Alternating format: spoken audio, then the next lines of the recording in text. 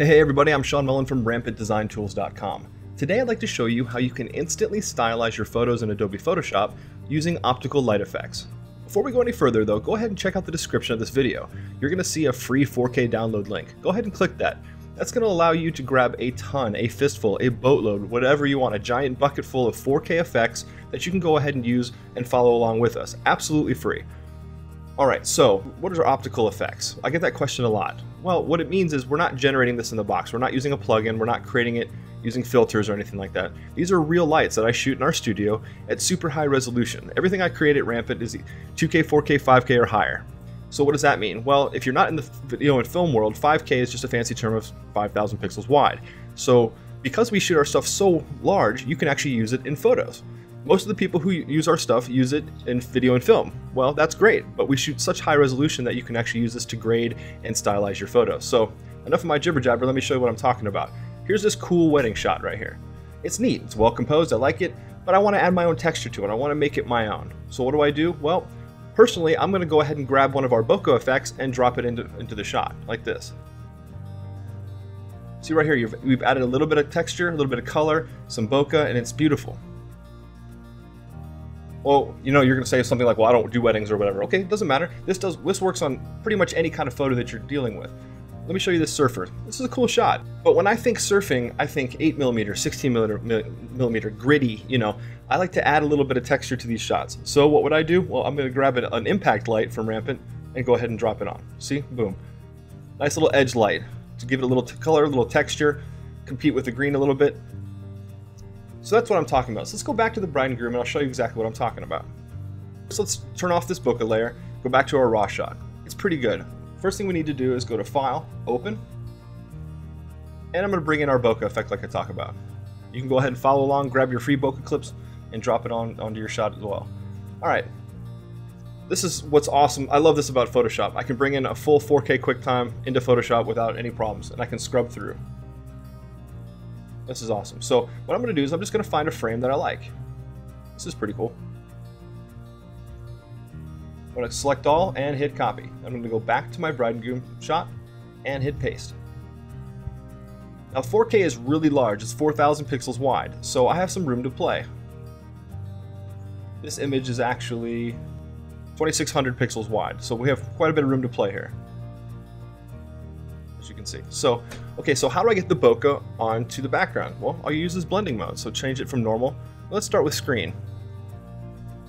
Now let's just repo this to get the, the desired effect I'm looking for. That's pretty cool, right there. Now, of course, we can always experiment with blending modes. I can switch it from screen to overlay, see what happens. That's pretty cool, maybe a little too intense for a wedding. Um, I can go to linear dodge if I really want to kind of get a much brighter kick but I think I'm going to stick with screen on this particular effect.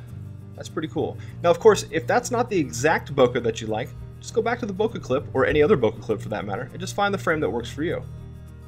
Maybe I don't want something up here in the corner, maybe I just want like this. So go ahead and hit copy, and hit paste. Turn off the layer beneath it, and switch it from normal to screen. Then repo it as, as you like. Pretty cool. Okay, so you might be like, well, you know, I don't do weddings. Okay, no problem. Let's go back to that surfer that we showed. Remember I put on this cool little bit of edge lighting. So once again, if I want to get an edge light, I just go to File, Open, and I pick any of the number of edge lighting or impact lights that we have. So I'm going to pick this impact light here from the Rampant library. And I'm just going to scrub through until I see what I like. That's pretty neat. I'm going to take one from the left side this time.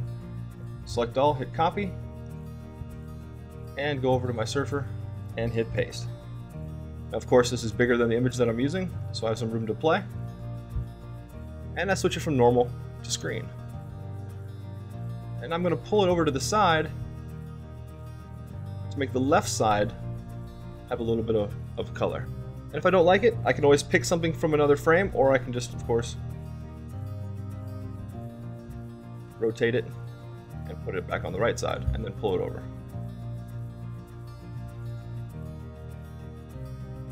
And again, you can play with blending modes. Go from screen to maybe overlay. Yeah, that's cool. Maybe it's a little too dramatic. I could of course dial down the opacity if I wanted to and then pull it over That's pretty neat. It adds some pretty dramatic color there. But I'm going to go ahead and stick back to screen. Or maybe if I really want to punch it, put it to linear dodge. Kind of neat. And of course I could re-up my opacity there. That's a little too nuclear for me. Cool. On to the next thing. We've got this really cool vintage car shot. It's already pretty well stylized, so you're thinking, well, what would I do to this? Well, what if you want to add just a little bit of splash of color? Like so. It's pretty neat. Now, just like any Rampant product, if you can do this once, you can do this a thousand times. So to get this effect is the same that we've just done twice. Go to File, Open.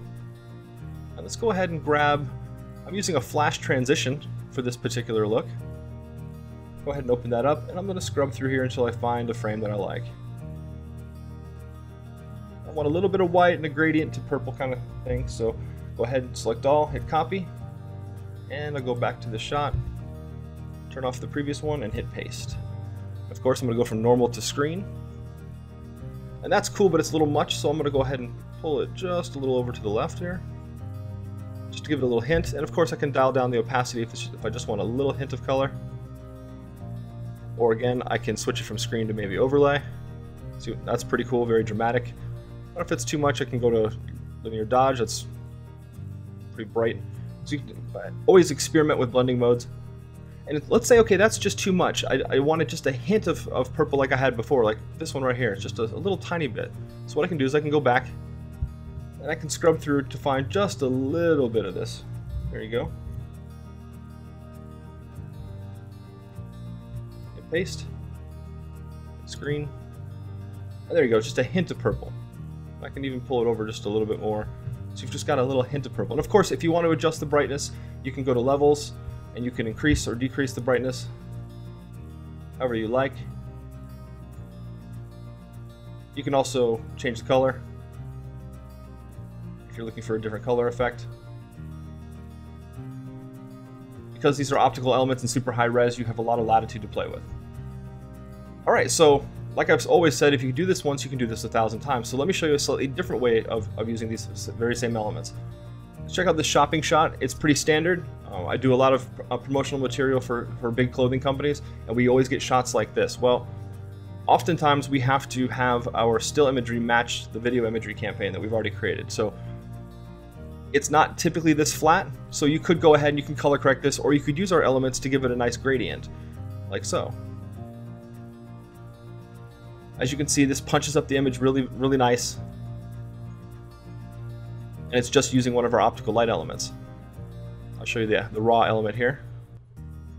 So this is what the raw element looks like. This is a nice, beautiful gradient light. And all we've done is change it from normal to overlay, which really kicks it up. But right here, it gets a little too bright for my tastes, so I went ahead and I dialed the opacity down just a little bit.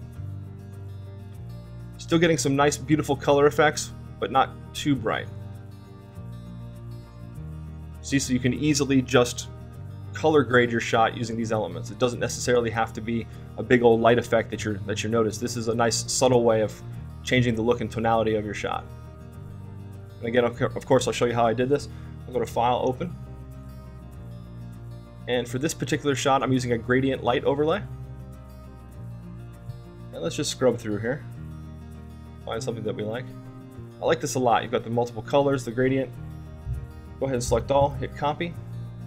Go back to our window shopping shot, turn off the previous layer, and hit paste. We've got this really nice gradient, and of course you can move it around to do whatever you like. I'll put it right there.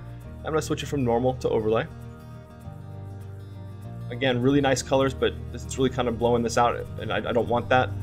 So I'm going to go ahead and dial it down the opacity just a little bit. There you go. In the within the matter of seconds, you've basically giving a, a whole new color grade to the shot just based on a light effect. Pretty cool. And our last and final shot, we've got this cool shot. Again, it's pretty stylized. It's got a nice vignette to it, nice lighting.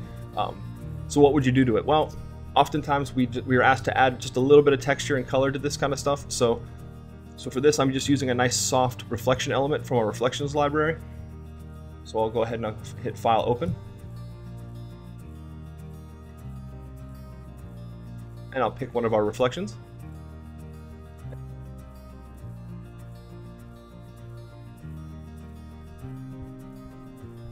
And here I'll just look for something, some kind of texture that I like.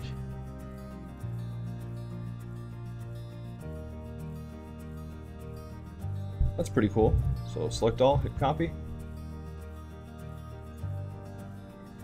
Turn off the previous layer and I'll hit paste.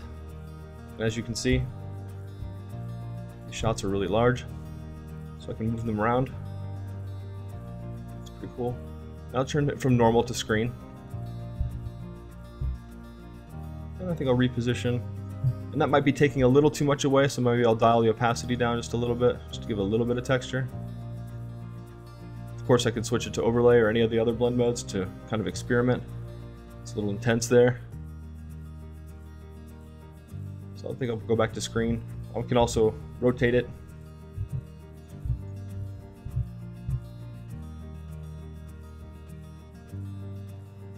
And reposition it wherever I want.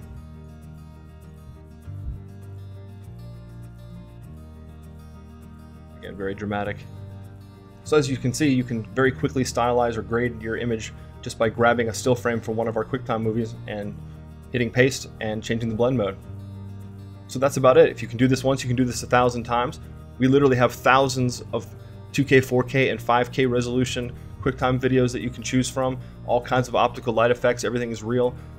I really appreciate your time. Go ahead and make sure to download those free 4K effects and try it out on your own photos. And go ahead and let us know what you think. Leave some comments, send us some messages. We always love hearing from you guys. Uh, it's great to always talk to you all. Go ahead and follow us on Twitter at Rampant Design or on Facebook at facebook.com slash rampantmedia. Until next time, I'm Sean Mullen from Rampant Design Tools. Thanks for watching.